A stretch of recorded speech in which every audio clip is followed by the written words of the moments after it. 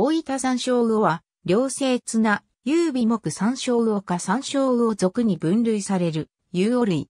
日本固有下式標本の産地は、白山。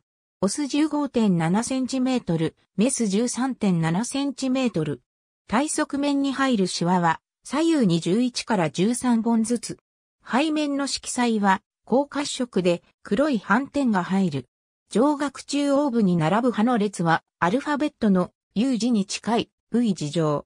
四肢や指跡は長い。胴体に沿って前肢を後方へ後足を前方に伸ばすと、あばら状2から3本分重複する。後肢の跡は5本。卵脳の表面には明瞭な筋が入らない。メスは体側面から腹面に銀白色の斑点が入る。以前は四国の一部にも分布するとされていた。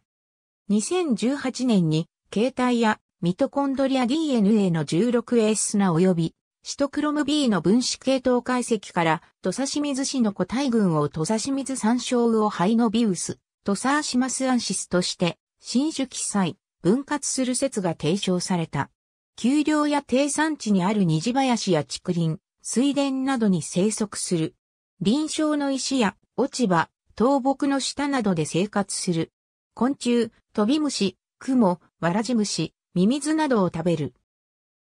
妖精は、カユスリカカゲロウなどの昆虫の幼虫、水虫、ミジンコなどの甲殻類、カエルの妖精などを食べ、共食いも行う。繁殖様式は卵生。12月下旬から翌3月下旬に、森林の周囲にある地層や消火栓、溝などに87から143個の卵を1、タイの卵巣に包んで産む。卵は3月以降に孵化する。6から9月に変態し幼体になる。飼育下では生後3年で生成熟した例や生後16年以上の生存例がある。開発による生息地の破壊、汚水や農薬による水質汚染などにより生息数は減少し、ペット用の乱獲、採集も懸念されている。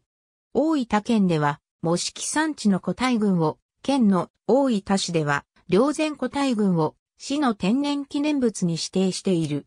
絶滅危惧 two 類。ありがとうございます。